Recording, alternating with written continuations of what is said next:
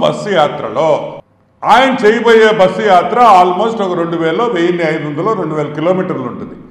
ఈ రెండు వేల కిలోమీటర్లకి బ్యారికేడ్లు ఖర్చు ఎవరిది? మొత్తం బ్యారికేడ్లు కట్టాలా? ఎందుకంటే సెక్యూరిటీ ప్రాబ్లం. పరదాలు కట్టాలి.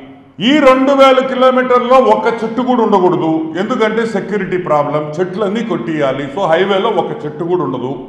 ఆయన హైవే ఎక్కడెక్కతాడో అక్కడ చెట్టు ఉండదు. ఊర్లో ఎక్కడ పోతాడో ఏ పల్లె పల్లెకి పోతాడో ఏ టౌన్కి పోతాడో అక్కడ ఒక చెట్టు ఉండకూడదు బ్యారికేడ్లు కట్టాలి. ఈ ఖర్చు ఇప్పుడు ఎవరు భరిస్తారు?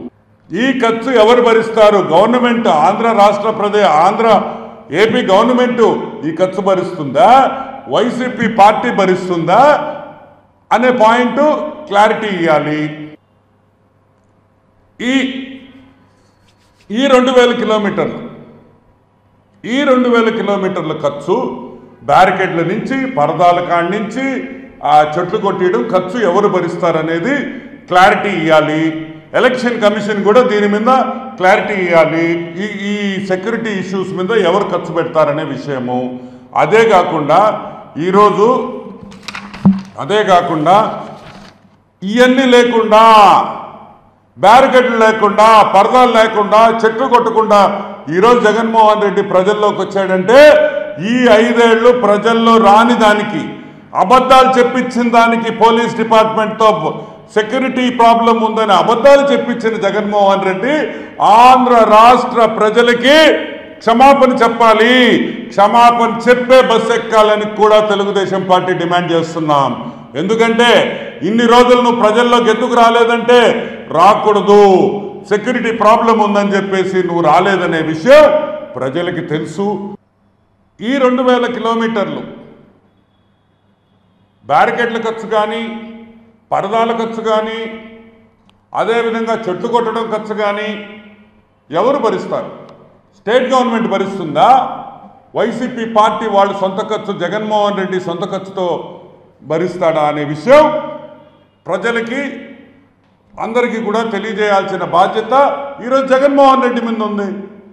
లేదు జగన్మోహన్ రెడ్డి మాట్లాడే సజ్జల్ గారు చెప్పాలి.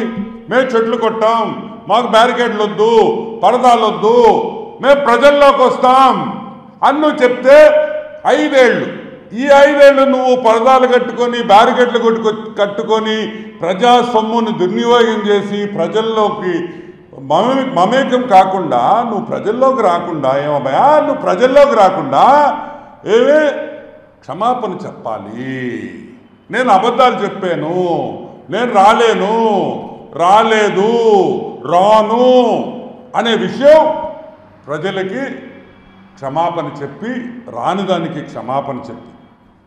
ఈ ఖర్చులు ఎవరు భరిస్తారు? ఈ పరదాలకి ఈ పరదాలకి బ్యారికేడ్లకి చెట్లు కొట్టే ఖర్చు కూడా ఎవరు భరిస్తారనే విషయం హండ్రెడ్ పర్సెంట్ క్లారిటీ ఇవ్వాలి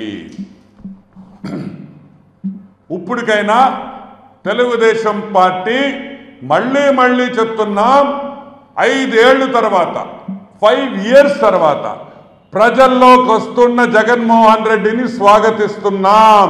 ఈ ఐదేళ్ళలో నువ్వు చేసిన విధ్వంసం నువ్వు ఈ రాష్ట్రాన్ని ఏ విధంగా నాశనం చేసావో ఈ రాష్ట్రంలో రోడ్లు దుస్థితి ఏ విధంగా ఉందో నువ్వే కళ్ళారా చూడొచ్చని కూడా నేను మనవి చేస్తున్నా. Welcome welcome welcome back. Half ticket Jaganmohan Reddy in the public ప్రజల్లోకి వస్తున్న మన హాఫ్ టికెట్ జగన్మోహన్ రెడ్డి ఆంధ్ర రాష్ట్ర ప్రజలందరూ స్వాగతించాలని చెప్పి మీకు అందరికీ మనవి చేస్తూ నేను సెలవు తీసుకుంటాను